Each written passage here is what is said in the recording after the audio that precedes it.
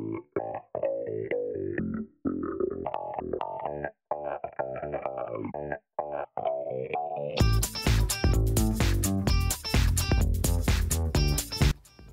What's up guys, this is Steve for Android at Night and today I'm going to be showing you 10 tips you can do to make your phone run faster. We're going to start with the very bare basics, the stuff that you can do with any Android phone, you don't need to be rooted or anything special and we're going to move through to some of the slightly more complicated bits and pieces towards the end of the video. So first on this list is increasing the speed of your animations. To do this, you want to go to your settings menu, you want to tap on about phone, you want to scroll down to the bottom again and you want to tap on your build number seven times. This will unlock the developer option in your settings menu. You then want to go into your dev options and scroll down to where it says animations. By default, these will all be set to one. Just to show you what happens if you set one to say 10, and then you can see the animation at the bottom just goes really, really slowly. So the lower these numbers are, the quicker your phone is going to switch in between individual apps. When all these animations are turned off, everything will run ever so slightly quicker, so apps and stuff like that will just be lightning, lightning fast.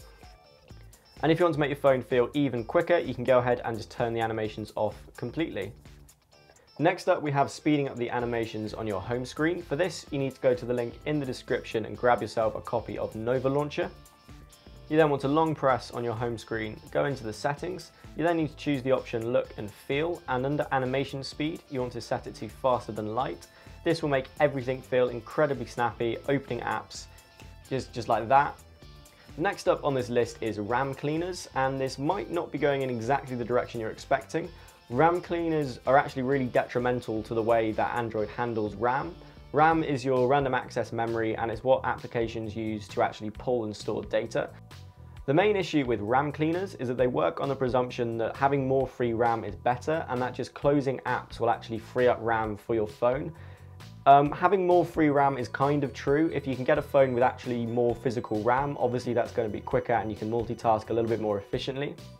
But the idea that you can just use a RAM cleaner to just kill applications and free up RAM and speed your phone up just doesn't work. The way Android handles RAM is it needs stuff to be constantly loaded in it for it to work efficiently. All you're doing with a RAM cleaner is killing a task and forcing it to reopen.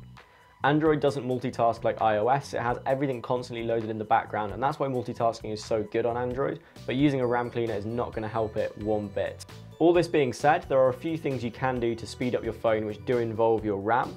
The first is going into your settings and identifying the apps that are really, really hammering your RAM and either uninstalling them or freezing them. Freezing is different to just killing an application and I'm going to talk about that a little bit later in the video. But for now, you want to go back to your developer options. You want to scroll down to where it says running services.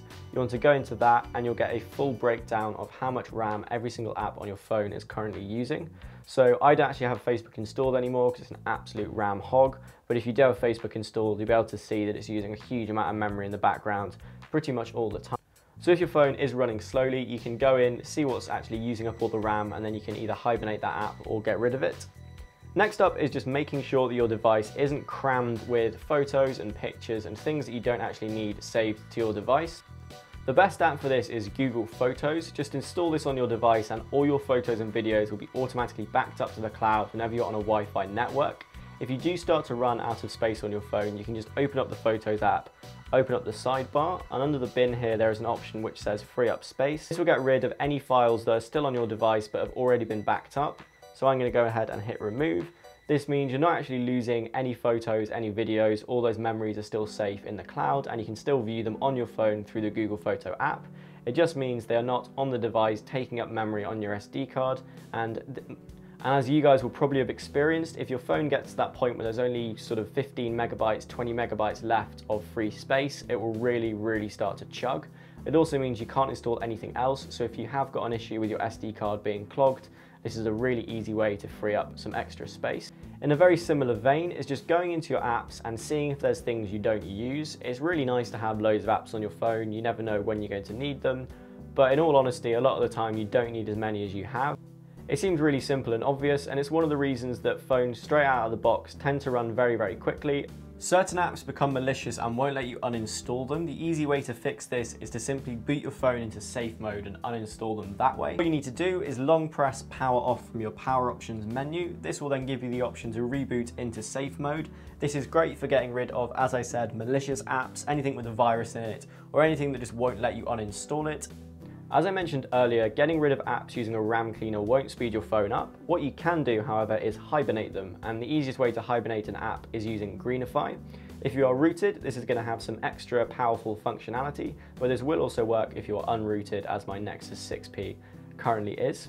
What this lets you do is go and choose which applications you want to hibernate. What this means is unless you open them, they won't be able to run any processes. This means they won't be accessing the data network and they won't be using up RAM when you're not using them. Obviously, one thing to bear in mind with this is certain social apps you will want to keep unhibernated because otherwise you won't get push notifications. However, I, for example, don't need push notifications from Instagram. There's nothing going on on Instagram that is that, um, that urgent, so I have it set so that Instagram will hibernate. You can then go into the app and simply hit hibernate and all these apps will automatically start hibernating. This will save you a huge amount of battery life and will also increase the speed of your phone.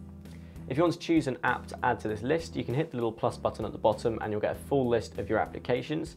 You then simply choose any ones that you want to hibernate. So for example, you can see I have got a lot of lock screen apps installed at the moment because I'm going to be doing a video on that in the very near future. But at the moment, I'm not actually using them. I'm just keeping them on my device so they're there when I need to do the review. So I'm going to add all of these to my hibernation list. You then want to tap on the apps that you have selected and hit the little Z button at the bottom and you can force them to go into hibernation. Next up, we have clearing the caches of your apps. If you run a lot of applications, caches are just going to be files, images, those sorts of things, which will be stored on your SD card for later use. Often, if you uninstall an app, a cache file might still remain, and a lot of apps are actually very inefficient um, in the way and a lot of apps are quite inefficient in the way they handle their caches. So if you want to actually clear this out, you can do this app by app. So for example, I'm just gonna go into AirDroid, I'm gonna hit storage, and then I'm gonna hit clear cache. This is a feature that a lot of apps claim to do for you, but you really don't need another app. All you're doing by introducing another app into the whole system is overcomplicating it and using up more RAM.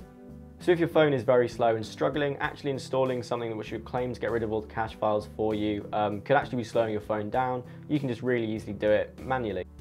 Whilst it's not good to keep killing apps to free up more RAM on your phone, obviously having more RAM is going to speed your phone up. There's a cool thing you can do on Android, which means you can increase the RAM of your phone without sort of taking the back off and getting a soldering iron out and doing any kind of hardware modding. You can actually run um, your SD card or your internal SD card as RAM. This is called virtual RAM and it's actually pretty easy to set up. One caveat with this is that a lot of phones need to be rooted for this to work. You need a specific kernel which allows the kind of SD card swapping. Before you actually buy the app and see if it does work on your phone, you can go to the other link in the description and download the Memory Info and Swap File Check app.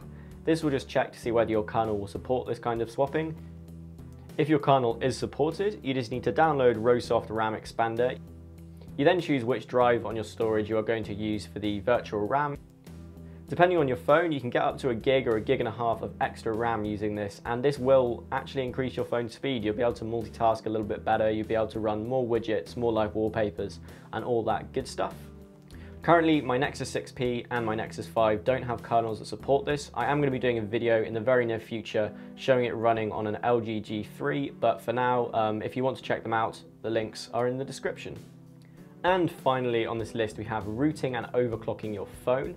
Now if you do root your phone there are a bunch of other things you can do to speed it up. You can install custom kernels and custom ROMs but my personal favourite way of making your phone faster is to use an Xposed module and the Xposed module is called performance profile. This will let you set your CPU um, specifically for different apps. So for example, for games, I have it set that this will really, really overclock the CPU and it'll make the whole experience a lot smoother and a lot quicker. The reason I prefer doing this to installing a custom kernel or anything like that is it's just a little bit more simple. You can literally just go to the link in the description and download this Xposed module. If you don't know how to install Xposed, I'll put a link in the description to my Xposed installation video. And if you don't need to root your phone, I will put some links in the description as well. I am also going to be doing a video on one-click rooting your phone again with a um, with an LG G3 so that will be coming in the next week or two so subscribe if you're interested in seeing that and that is my top 10 list of ways to speed up your Android phone. Let me know in the comments what your favorite tips are, if you've tried out any of these and if they worked really well. I again apologize for my voice. I am kind of ill. I feel kind of fluey and horrible, but I have dragged myself out of bed to film this for you guys. But please do like and subscribe if you've enjoyed this video. As always, you can follow me on all my social media things, the links in the description, and I will see you guys in the next video. Peace.